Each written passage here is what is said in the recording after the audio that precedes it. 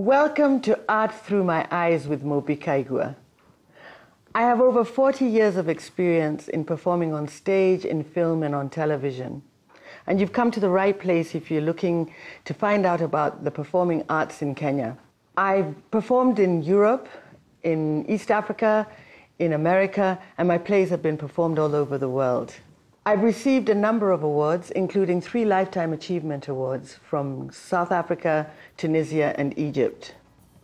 If you're looking for a place where you can find out about the performing arts in Kenya, then you've come to the right place. Come with me.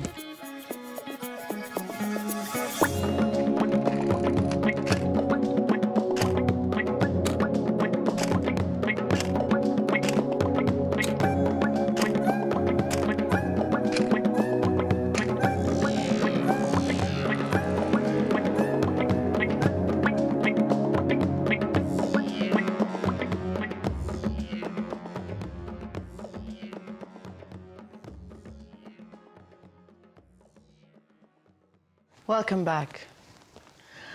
We've talked about Heart and Soul and how it was made. We've had one episode where we gave you an introduction, then a second episode where we talked about the auditions and the acting workshops. Then we talked about the production process. And now in episode four, I'm going to talk about how Heart and Soul was scripted.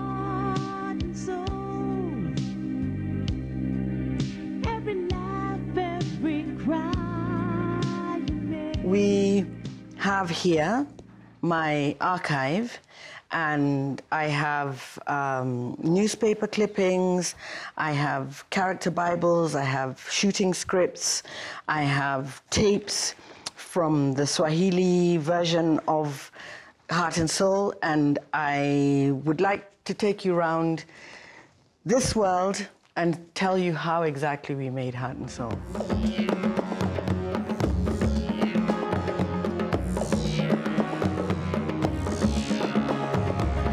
So the way that the writing process began was, first of all, we had to recruit writers, and there wasn't that much experience in writing soap operas, so we um, asked for people to apply.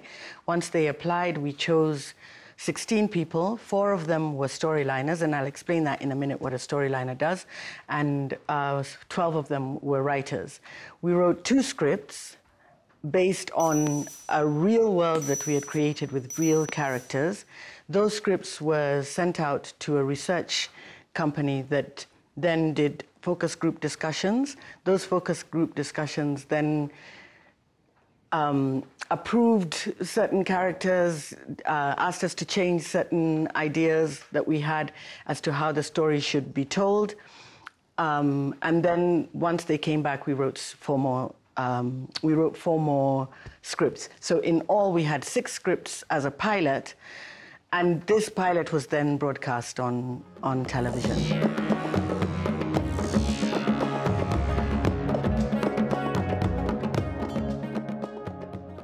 So what we decided as the storylining is that these characters needed to be appealing to the public.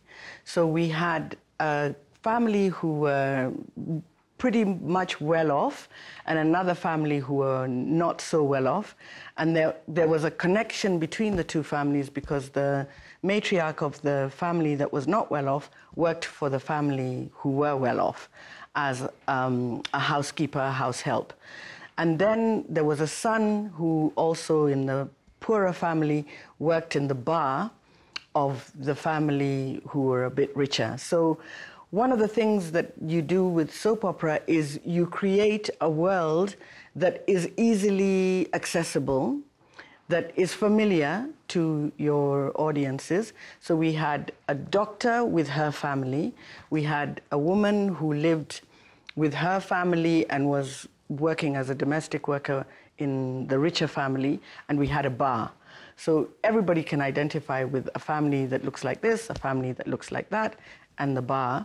And so this is where people gathered, and this is how the story unfolded.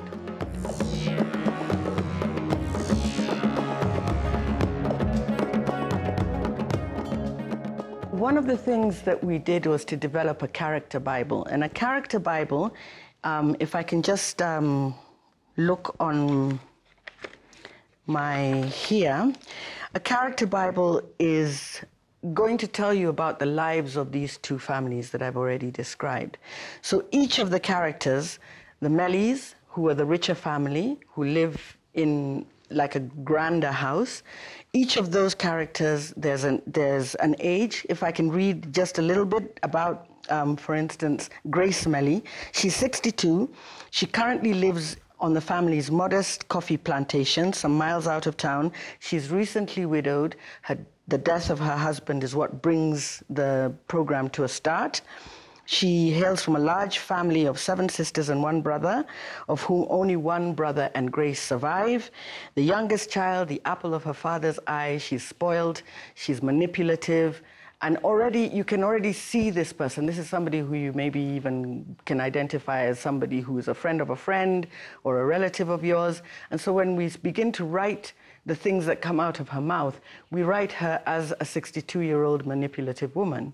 And that kind of becomes easier for the writer to write because we have a description of her. And that's what the Bible does for you.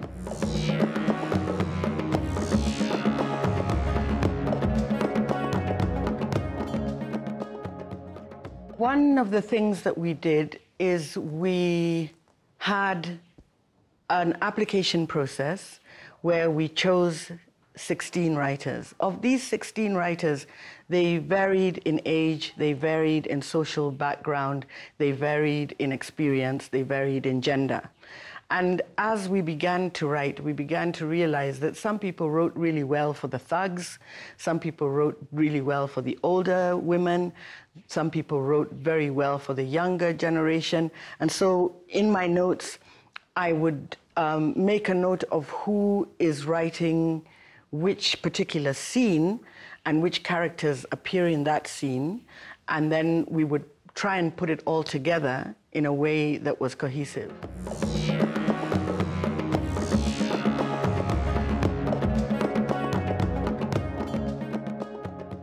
I think that one of the things that we learned as we were learning how to storyline and as we were learning how to write a Bible is that there are elements of the story that the audience knows. So maybe there's a secret.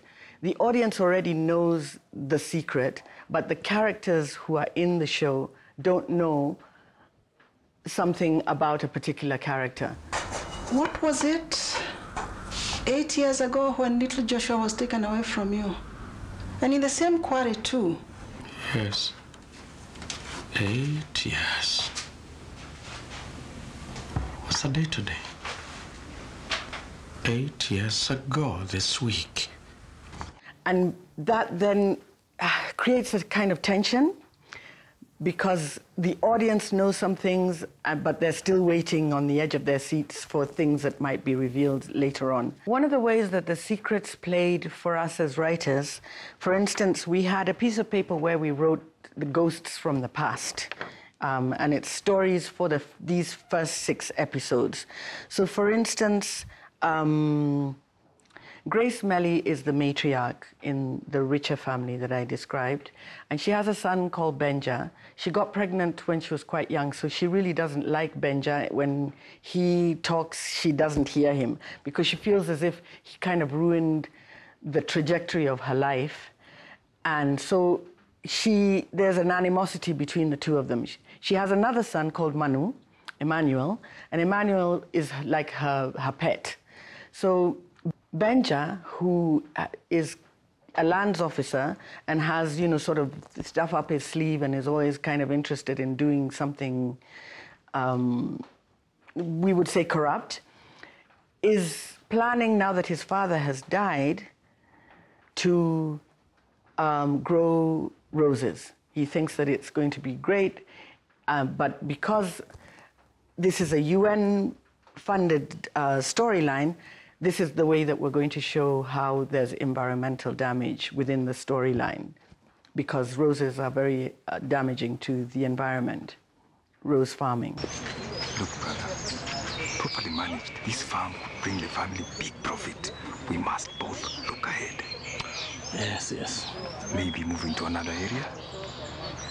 Idea of mine, flowers. Hey, Benja, business later. Of course. Anyway, mother would never agree to that sort of change. It's not our farm anymore, is it? And it's not ours either. Not yet, but I am the eldest now. If we do this thing, it will sort your problems out, won't it?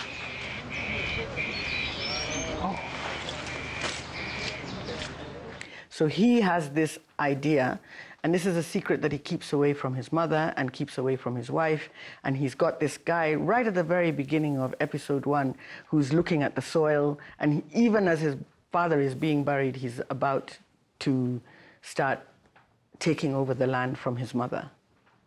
Very familiar story, even today. What do you want? This is private property. Are you the owner? No, I am the manager. Were you coming for the funeral? No, man. I was just passing by. Some good soil here. The road is down there. Easy, man. Easy. It's a nice day. Finally, if you'd like to know more about Heart and Soul, or more about my work, or more about the work that I've done, then come to my website, www.mumbikaigwa.com. And remember to like and share this video and subscribe to my channel.